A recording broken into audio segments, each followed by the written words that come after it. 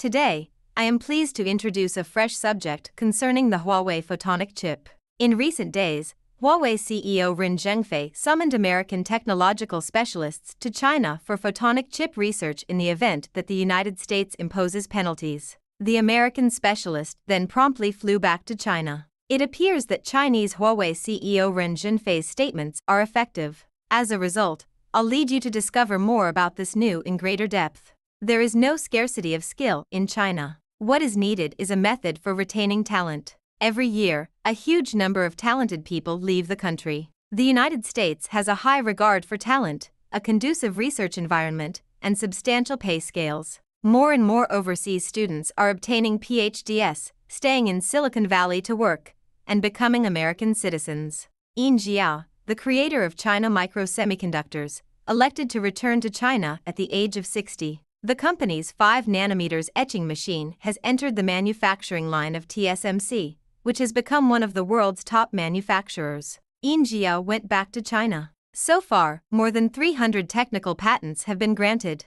Compared to the top Chinese PhDs in the United States, his technology and status are not the most outstanding, he previously stated. When he was still at Intel, the majority of technical R&D staff and team leaders were Chinese. This is plenty for us. We must carefully consider the causes for the outflow of skills from oneself, and the present most significant issue is how to keep talents. The American chip doctor has returned. Following in the footsteps of Yin Jiao, numerous semiconductor geniuses have returned to China one after the other. There has just been excellent news that China has welcomed back a top talent from the United States who has plainly rejected rich compensation overseas. Temptation, upon his return to China, he will commit himself to the development of the Chinese semiconductor sector, and it is Chang Lin, the chip doctor. Chang Lin attended Shandong University. She went on to study at the University of California in the United States, where she earned a PhD. During her stay at the University of California,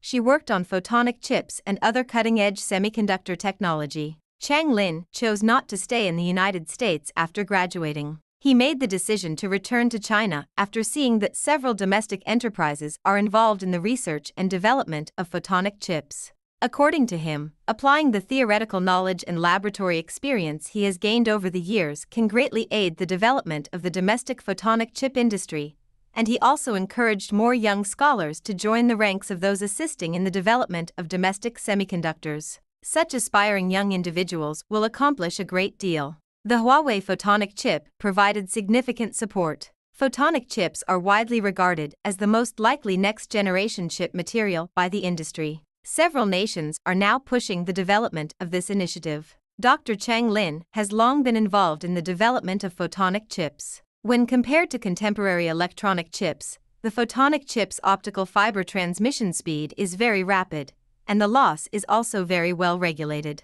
Dr. Chang Lin has solved the problem of optical fiber refractive index, which had previously confounded the industry's best specialists. The first researchers employed quartz to complete the waveguide of the photonic chip, however, the usage effect was produced by the incompleteness of the refractive index. It wasn't all that great. Chang Lin then utilized silica to improve the refractive index of the optical fiber, resulting in the photonic chip's ideal waveguide structure. Dr. Chang Lin's accomplishments in this sector do not stop there. He holds a number of technological patents. You may assist the domestic optical quantum chip sector flourish more effectively if you make excellent use of these technological patents. Huawei now has the most breakthroughs in light quantum processors in China. As a result, if there are no shocks, Huawei will not let such a genius leave.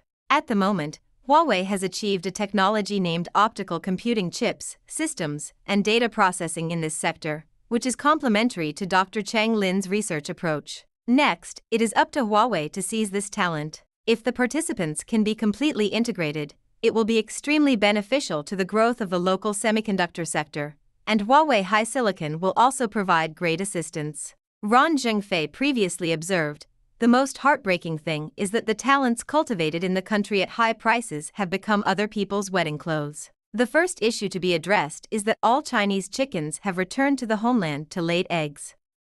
With the progressive development of China's scientific research environment, the reliance on skills is growing. This is how to get talents like Mao Wei, Chang Lin, and Yin Jiao to return to China. Patriotism compels them to return. It cannot be used in China, therefore, returning to China is not an option for researchers.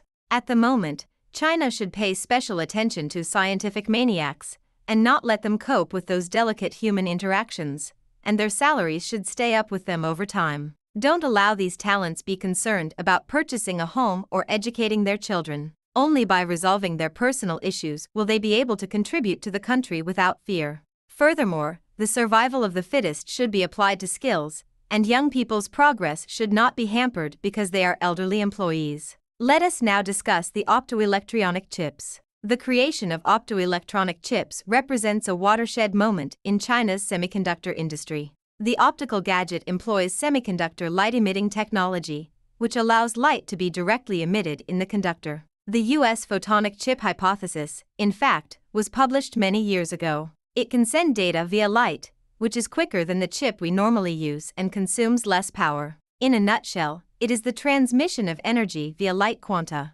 Surprisingly, Chinese scholars have made theoretical advances in such a short period of time. This technical achievement has propelled China not just to the forefront of the semiconductor industry, but also to the forefront of the globe. This accomplishment is heartening. Many netizens wonder what the difference is between a photonic chip and a conventional chip.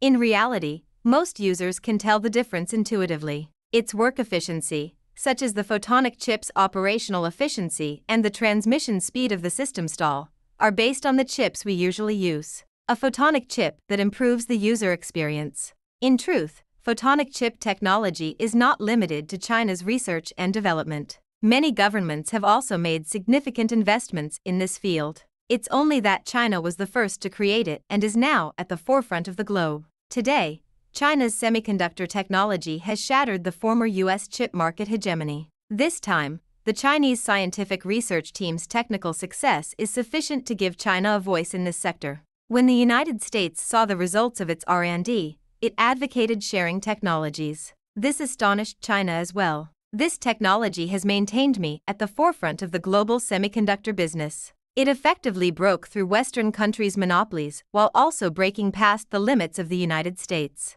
This episode has prompted China to declare that it will be beaten if it falls behind. We must increase the speed of the semiconductor sector, master key technologies, walk in the foreground, and stop being passive and governed by others. We can learn about Huawei's photonic chip development and talent construction at the end of this video. Thank you for taking the time to watch this video. How do you feel about Huawei's development in this video? You may leave your thoughts or recommendations in the comments section below. Please continue to subscribe to our channel and enjoy our videos.